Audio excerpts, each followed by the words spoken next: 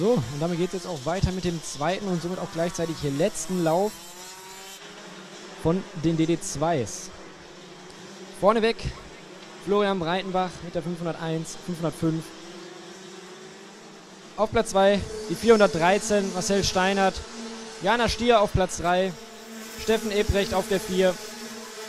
Auf der 4, sorry, ist der Tom Yannick Nehring Der Max Bösser auf der 5, genau, so jetzt. Der Steffen Ebrecht auf der 6. Auf der 7 haben wir den Thomas Moritz. Und auf der 8 hinter ihm den Philipp Weber. Auf der 9 auch ein Philipp, und zwar den Philipp Kaiser. Die 10. Startposition belegt Mario Meissner. Auf der 11 den Marc Vidal. Auf der 12 den Nico Gnad. Auf der 13 haben wir den Frank Zadder, gefolgt von der 14. Das ist Sandro Feist. Die Startnummer 512 Startet von der 15 aus ist der Daniel Schulz. Die 16 belegt der Maurice Klemm. Der Niklas Starter auf der 17 und der Oliver Breitenbach, der im ersten Rennen durch einen technischen Defekt schon in der dritten Runde aus rausfahren musste, startet von der 18.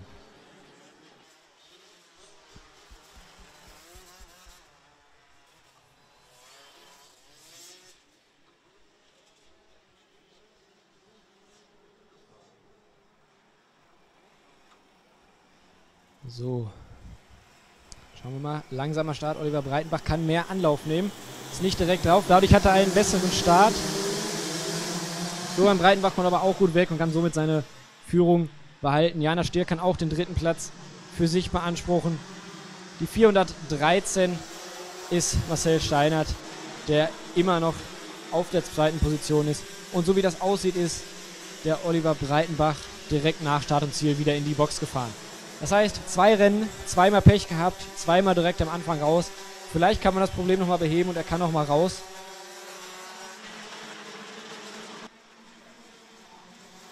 Allerdings, so wie es jetzt aussieht, nee, er steigt aus. Okay, Oliver Breitenbach ist also auch im zweiten Rennen ausgeschieden.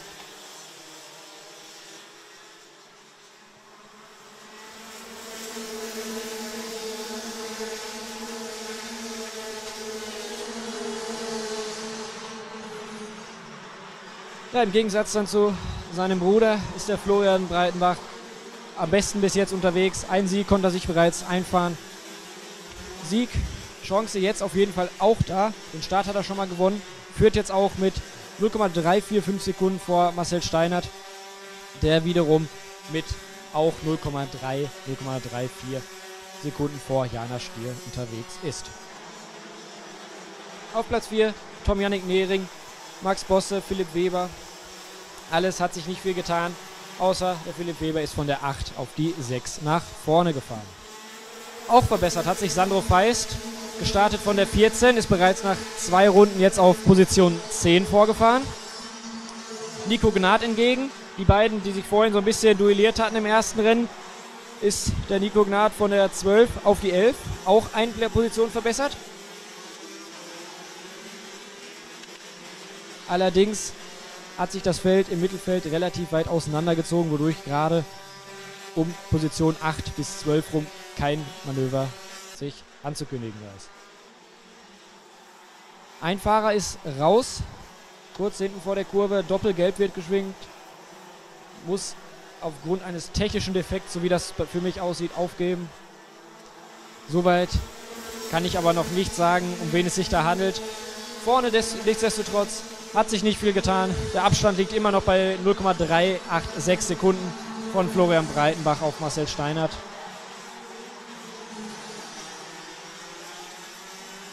Das müsste die Startnummer 456 gewesen sein. Das ist der Thomas Moritz, der da hinten sich jetzt bequem machen darf.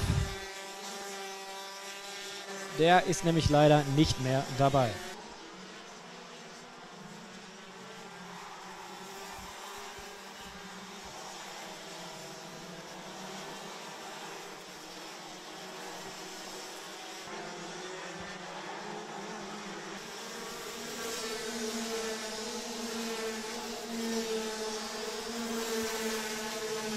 Vorne wird der Abstand größer. 0,683 Sekunden Vorsprung für Florian Breitenbach. Und auch Sandro Feis konnte sich wieder verbessern, ist jetzt schon auf Position 8 vorgefahren. Rundenzeitmäßig ist er auch sehr gut unterwegs bis jetzt. Auf jeden Fall die beiden vor ihm, die sind auf jeden Fall möglich, wenn man sich die Rundenzeiten anschaut. Aber da ist noch ein ganz großer Abstand.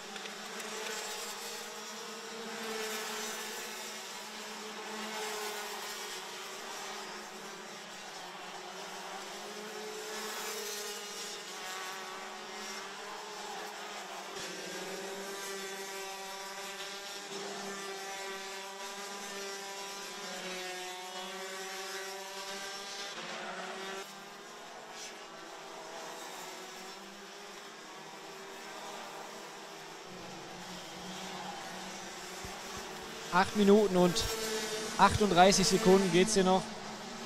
Vorne konnte Florian Breitenbach seinen Vorsprung auf 1,397 Sekunden auf den Marcel Steinert ausbauen. Dahinter mit circa zweieinhalb Sekunden Abstand fährt Jana Stier, die sich allerdings jetzt schon nach hinten befassen sollte, da in ihrem Rücken der Tom Yannick Mehring fährt. Der ist in der letzten Runde auch eine zwei, um zwei Zehntel schnellere Rundenzeit gefahren, wodurch es natürlich jetzt in den nächsten zwei, drei Runden auf jeden Fall zu einem Angriff kommen wird.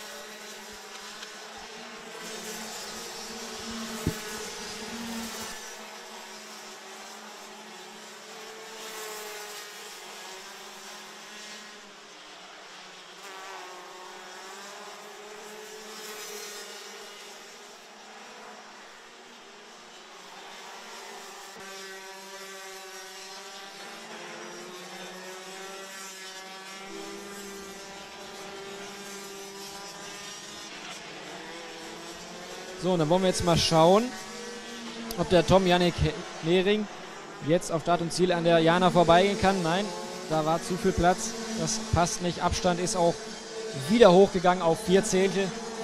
Das reicht definitiv noch nicht. Währenddessen baut Florian Breitenbach seinen Vorsprung immer weiter auf. Mittlerweile 1,9 Sekunden.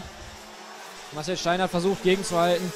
Rundenzeitmäßig knappe zwei Zehntel langsamer. Allerdings auch knappe halbe Sekunde schneller als Jana Stier.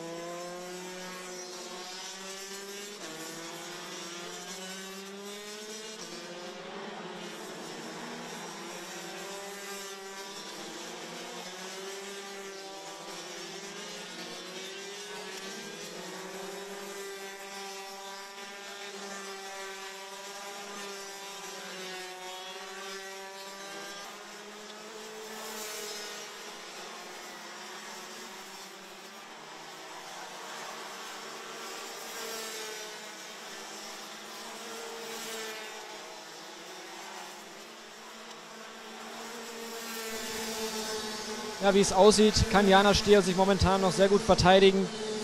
Rundenzeiten auch knappes Zehntel schneller. Also bis jetzt der Abstand liegt bei einer halben Sekunde. Wenn beide so weiterfahren, da wird sich an dem Ergebnis nichts mehr ändern. Genauso wenig wie vorneweg Florian Breitenbach. Der Abstand mittlerweile 2,9 Sekunden auf dem Marcel Steinert. Der wiederum dann circa 4,5 Sekunden Abstand auf Jana Stier hat. Ja, dahinter der Max Bösser von der 5 gestartet, immer noch auf der 5. Philipp Weber konnte sich mit dem sechsten Platz jetzt zufrieden geben. So wie es bislang zumindest aussieht. Fährt relativ dicht trotzdem dran. Vielleicht sehen wir da das ein oder andere Überholmanöver noch. Hinter Philipp Weber haben wir dann die 485. Das ist der Steffen Ebrecht. Und der wird verfolgt vom Sandro Feist. Hinter Sandro Feist haben wir Niklas Stader der auch im ersten Rennen etwas Pech hatte, frühzeitig aufhören musste und sich jetzt auch immerhin von der 16. Position rauf auf die 9 gekämpft hat. Nach etwas Platz, Nico Gnad kommt danach auf die 9, Philipp Kaiser auf der 11, Nico Gnad natürlich auf der 10.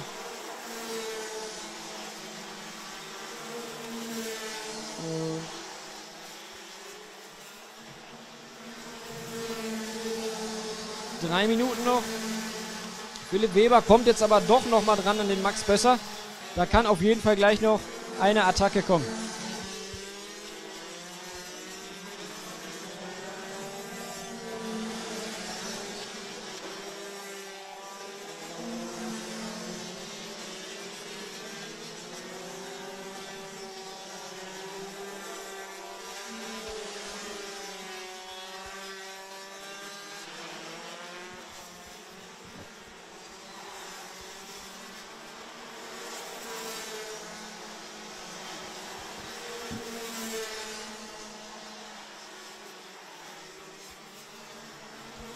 Und da ist auch der Angriff passiert. Vor Start und Ziel. Philipp Weber vorbei. An Max Besser. Zwei Minuten Zeit hatte er noch. Hat die Chance genutzt. Tür war offen, in und vorbei. Einmal kurz eine Überrundung steht bevor. Aber so wie es aussieht, macht der Fahrer Platz. Jawohl. Fair gefahren. Schön nach außen. Die beiden ungestört dran vorbeikommen. Genauso geht es auch Sandro Feist, der kommt auch noch ganz normal dran vorbei, ohne Zeit zu verlieren. Ja, und Florian Breitenbach, der dreht noch weiter seine Runden, hat mittlerweile seinen Vorsprung nochmal ausbauen können. Der liegt nämlich mittlerweile bei 3,861 Sekunden. Und Marcel Steinert hat auch circa 5 Sekunden Vorsprung auf Jana Stier.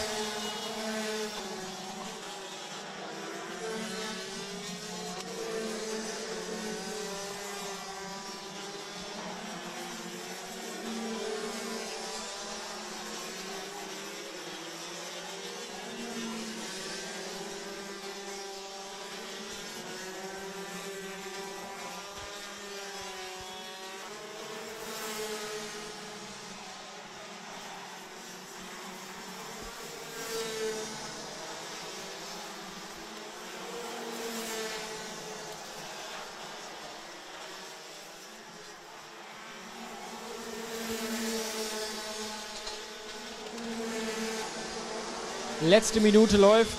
Wird sich wahrscheinlich auch wieder auf zwei Runden hinauslaufen. Sandro Feist hat jetzt nochmal die Chance, auf Platz 7 vorzurü äh, vorzurücken. Steffen Ebrecht ist da vor ihm. Ganz nah aneinander. Sandro Feist auch schon viele Überholmanöver dieses Rennen machen können, erfolgreich beenden können.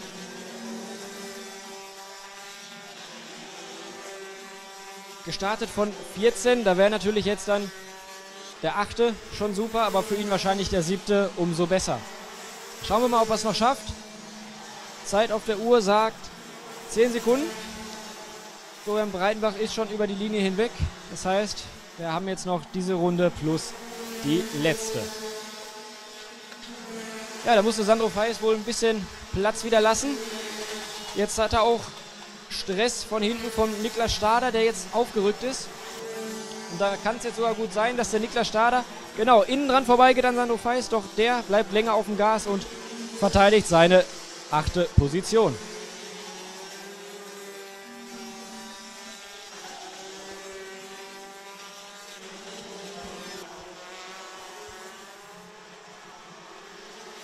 So, Florian Breitenbach geht in die letzte Runde. Eine Überrundung muss er wahrscheinlich noch durchziehen. Wie hat er jetzt auch gemacht. Sehr fair, Platz gemacht. Jana Stier, dritte momentan. Auch drei Zehntel Vorsprung. Wenn da nicht mehr viel schief geht, sollte sie sich auch den, beim zweiten Rennen den dritten Platz gesichert haben. Sandro Feis hingegen muss noch weiter kämpfen, musste Kampflinie fahren nach Start und Ziel, damit er seinen achten Platz behalten kann.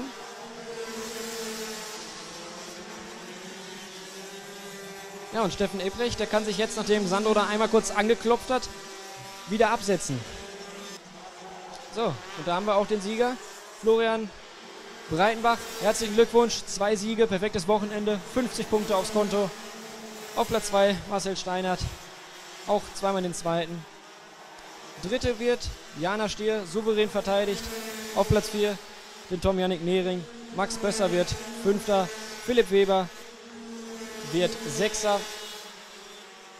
Wird, Philipp Weber wird Fünfter, so rum. Und der Max Bösser wird Sechster. Steffen Ebrecht auf der 7. Sandro Feist auf der 8. Niklas Stader auf der 9.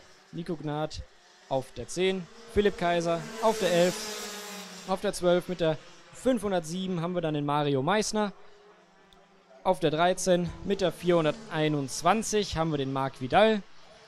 Die 14 mit der 545 ist der Frank Zadach. Position 15 konnte sich die 419 klären, der Maurice Klemm. Und die Position 16 geht an die 512. Das ist der Daniel Schulz. Nicht angekommen sind die 456. Das ist der Thomas Moritz und der Oliver Breitenbach der sein Kart bereits in der ersten Runde abstellen musste.